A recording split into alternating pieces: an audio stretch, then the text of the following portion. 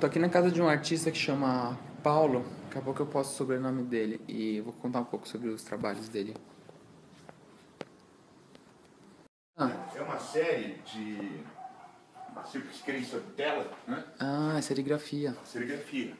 Isso são só versos de cartas né? Guardando e colecionando. Então é, é, fundo de baralho isso aqui. É fundo de baralho. E aí chama blefe porque. Fica no é, limite, é arte, arte não é arte, arte. Né? Remete a uma sou lá no Dragão do Mar em Fortaleza, tinha uma feirinha lá de artesanato.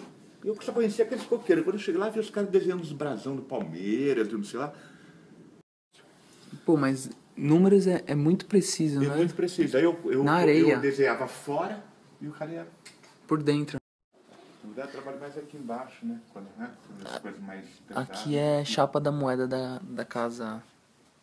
Casa da Moeda? Casa da Moeda do Brasil, é. Eu vim visitar o Paulo porque a gente tem uma pesquisa parecida de portões, que é uma coisa que só tem no Brasil e mais específico em São Paulo, né?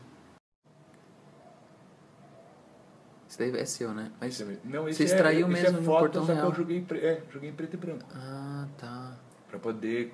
Geralmente fica no acabamento aí, né? Esse quadro... Esse quadro aqui é todo feito de números. Ah, tá vendo? São números que, tipo, vai subtraindo menos um, menos um, menos um e, e todo lugar que chega, ele vai dando volta até chegar no zero. De quando que é esse seu livro?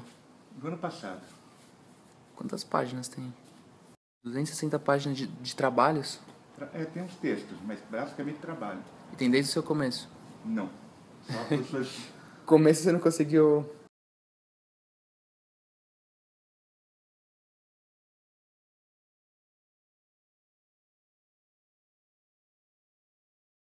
Tava me contando que essa areia que tá aqui dentro, é, ela tá em extinção agora. Que, que cidade que é mesmo? Fortaleza. Fortaleza.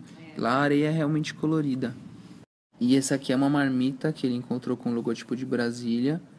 E ele fez um tijolo, mais ou menos desse tamanho, escrito Candango, que é o nome do operário que construiu Brasília. Anos? É, 12 anos, né? Eles moraram nessa casa aqui. E agora eles construíram um ateliê para trazer arquiteto da Itália? Sim. Aqui é um escritório de arquitetura italiana que eles montaram do lado da casa.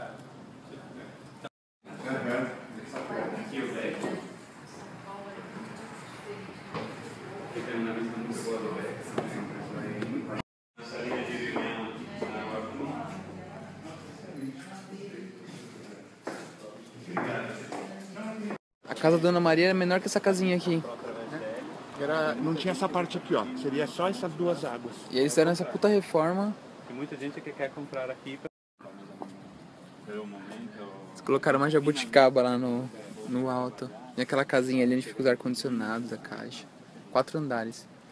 Agora eles me trouxeram nessa galeria aqui, hein?